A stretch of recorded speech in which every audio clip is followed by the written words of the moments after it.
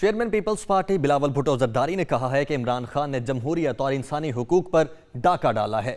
वजी अजम को घर भेजना ही तमाम मसाइल का हल है। हुकूमत गिराने के लिए अपोजिशन का एक पॉइंट पर मुतफिक होना नागुजीर हो चुका है। वह मुजफ्फरगढ़ में मीडिया से गुफ्तु कर रहे थे।